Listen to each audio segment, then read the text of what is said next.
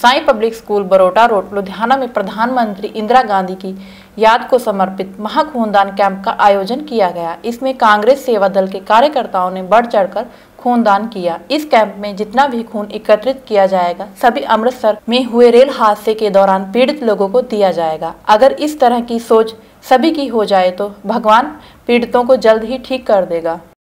ਜੀ ਜਿਹੜਾ ਅੱਜ ਖੂਨ ਦਾ ਕੈਂਪ ਲਗਾਇਆ ਗਿਆ ਜਿਹੜਾ ਕਿ ਇੰਦਰਾ ਗਾਂਧੀ ਜੀ ਦੀ ਯਾਦ ਦੇ ਵਿੱਚ ਜਿਹੜਾ ਉਸ ਤੋਂ ਬਾਅਦ ਇਹ ਖੂਨ ਕਿਹਨਾਂ ਦੇ ਕੰਮ ਜਿਹੜਾ ਅੱਜ ਸਾਡੇ ਮਰਹੂਮ ਪ੍ਰਧਾਨ ਮੰਤਰੀ ਇੰਦਰਾ ਗਾਂਧੀ ਦੀ ਯਾਦ ਵਿੱਚ ਜਿਹੜਾ ਅੱਜ ਇਹ ਖੂਨਦਾਨ ਕੈਂਪ ਲਾਇਆ ਗਿਆ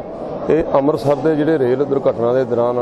ਜ਼ਖਮੀ ਹੋਏ ਨੇ ਇਹ ਸਾਰਾ ਬਲੱਡ ਉਹਨਾਂ ਦੀ ਸੇਵਾ ਵਿੱਚ ਭੇਜਿਆ ਤੇ ਲੱਗ ਰਿਹਾ ਕਿ ਇਹੋ ਜਿਹਾ ਲੋਕਾਂ ਨੂੰ ਹੋਰ ਉਪਰਾਲੇ ਕਰਨੇ ਚਾਹੀਦੇ? ਇਸ ਤਰ੍ਹਾਂ ਦੇ ਉਪਰਾਲੇ ਬਿਲਕੁਲ ਕਰਨੇ ਚਾਹੀਦੇ ਜਦੋਂ ਕੋਈ ਕਿਸੇ ਦਾ ਮਹਾਨ ਸ਼ਖਸੀਅਤ ਦਾ ਸ਼ਹੀਦੀ ਦਿਨ ਹੋਵੇ ਜਨਮ ਦਿਨ ਹੋਵੇ ਮੌਤ ਦਿਨ ਹੋਵੇ ਉਸ ਦਿਨ ਇਹੋ ਜਿਹੇ ਉਪਰਾਲੇ ਕਰਕੇ ਜਿਹੜੀ ਹੈ ਉਹਨਾਂ ਨੂੰ ਸੱਚੀ ਸ਼ਰਧਾਂਜਲੀ ਦਿੱਤੀ ਜਾ ਸਕਦੀ ਹੈ। ਅੱਜ ਲੁਧਿਆਣਾ ਵਿਖੇ ਲੁਧਿਆਣਾ ਕਾਂਗਰਸ ਸੇਵਾ ਦਲ ਸ਼ਹਿਰੀ ਤੇ ਦਿਹਾਤੀ ਨੇ ਰਲ ਕੇ Sai public senior secondary school Barota road new Shimlapuri ਵਿਖੇ ਖੂਨਦਾਨ ਕੈਂਪ ਲਗਾਇਆ ਜਿਸ ਵਿੱਚ ਖੂਨ ਹੈਗਾ ਕਿੰਨਾ ਦੇ ਕੰਮ ਆਏਗਾ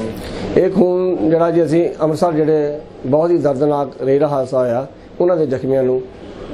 ਪਹਿਲ ਦੇ ਆਧਾਰ ਤੇ ਦਵਾਂਗੇ।